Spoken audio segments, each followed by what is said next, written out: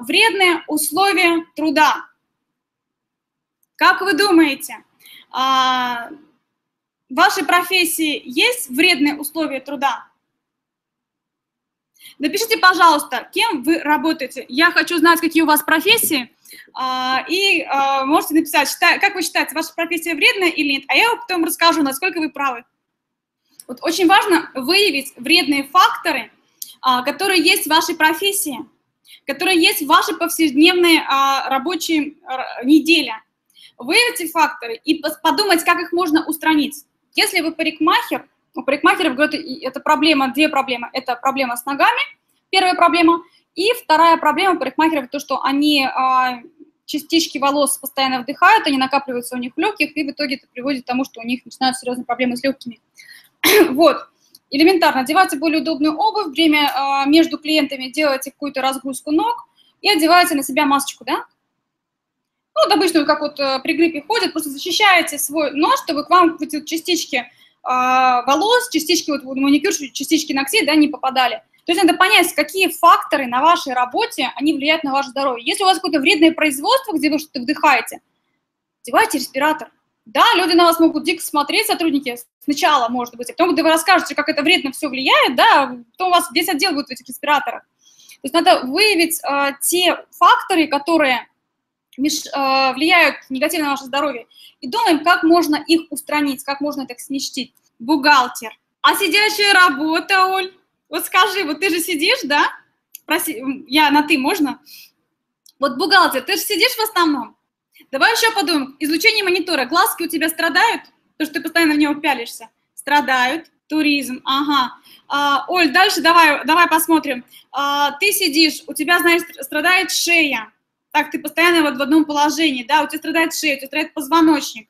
А, если вот ты, э, у тебя сидящий, у тебя также страдают ноги, у тебя а, очень мало двигательной активности. Ну, если ты там не бегаешь бумажками куда-то, да, если у тебя сидящая. Оль, скажи, у тебя сидящая работа? Сколько я знаю бухгалтеров, они все обычно много сидят. Шея проблемой, да, сижу, да. Вот надо подумать, а, как это избежать. Вот, кстати, вот о том, как решить проблему в сидящей работе, я тоже расскажу.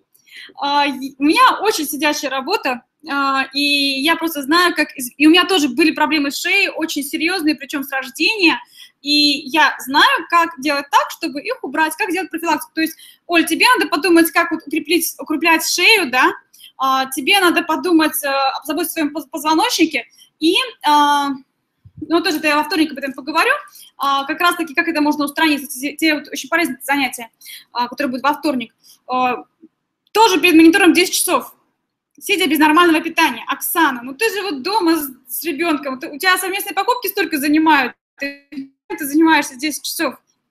Вот, да, наша проблема – это гиподинамия, то, что мы не двигаемся, мы сидим по 10 часов. Ну, Оксана, сколько я знаю, ты спортом занимаешься. В этом плане. Но вот по 10 часов – это очень вредно для нас. И питания нормального нету, да, мы экономим на себе, да, а то, что у тебя продуктивность снижается, если ты безвылазно 10 часов сидишь, ты об этом не думаешь? Что ты там насидишь? Когда у тебя шея затекает, начинает проблема, у тебя кровь к мозгам не поступает, и все. Надо работать эффективнее. Меньше, но эффективнее. Мы, женщины, мы в основном работаем головой. То мужчины не работают э, мышцами, да, мы, мы работаем головой чаще всего. Поэтому нам очень важно, чтобы наша голова была в порядке. А здоровье нашей головы часто зависит от здоровья нашей шеи. Потому что если шея забитая, то кровь плохо циркулирует, и мозги хуже соображают, потому что питательные вещества, кислород, они просто не доходят до мозгов. Вот, поэтому да. То есть вот надо э, понять, какой, что у нас, вот, если устранить вредные факторы не получается, поддерживаем страдающие от работы области здоровья, да. Если вы не можете изменить, вот, вот ну, такая работа, вам приходится сидеть, да, Поддерживайте свою шею, позаботьтесь о своей шее. Это было на работе. Да, да, вот видишь, как хорошо вот декрет Оксан действует. Да. А вот когда вот работаете вот перед, перед монитором, заботьтесь о своих глазах, заботьтесь о своей шее, шея, плечевой пояс, да, позвоночнике. То есть здесь вот есть комплекс мер, который помогает как раз-таки а, при сидячей работе за монитором а, укреплять органы. Пейте добавки, пейте витамины, которые укрепляют глаза, которые укрепляют а, вашу опорно-двигательную систему.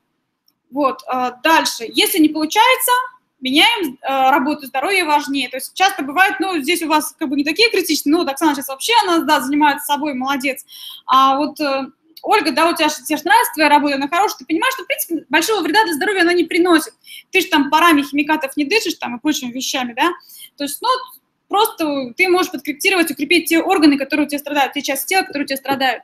Но вот те, у кого кто понимает, что а, на работе теряют очень много здоровья, лучше, конечно, поменять, потому что есть много других а, работ, специальностей, где вы можете быть востребованы, где у вас все будет хорошо. Многие могут сказать, как же так, я больше ничего не могу, я вот только, э, только вот здесь столько проработал и так далее.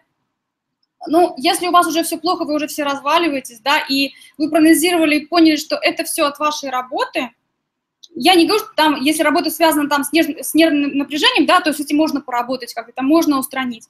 Но если вот, э, опять-таки, моя любимая сестра, да, она работала коком на танкере, она постоянно дышала нефтяными парами, а, и, да, с легкими тоже у нее, не только с легкими, там у нее вообще совсем были проблемы, тоже долго ее отхаживали после этого, с трудом ее туда уволили, потому что она боялась просто, что, хотя у нее высшее образование психолога, сейчас она работает у меня консультантом. Вот Ирина Гор, да, это моя родная сестра, которую я забрала с танкера.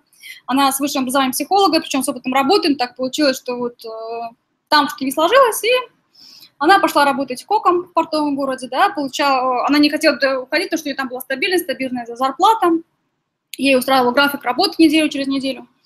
Но после того, как она туда ушла, она смогла и похудеть, еще, конечно, не полностью, но она значительно похудела, значительно укрепила свое здоровье, перестала болеть, то есть как бы все на лицо. Поэтому, да, нам не хватает силы и уверенности иногда решиться, но бывают моменты, когда это необходимо сделать. И даже не в том как бы, вопрос, да, что мало зарабатываешь на работе. Да еще, как, если работа приносит удовольствие, то можно как бы не смотреть на то, что мало денег она сверху приносит.